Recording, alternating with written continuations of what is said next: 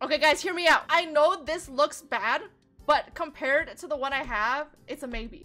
Oh wait, never mind. Actually, now that I think about it, it's it's not that as good as I. Well, we want flat defense or flat HP would be really good. I said I was gonna build my tank Ayato. Okay, you guys remember yesterday? Okay, you see the 19% defense. Don't want, don't give me crit rate, please. I already have enough crit rate. I don't need any more.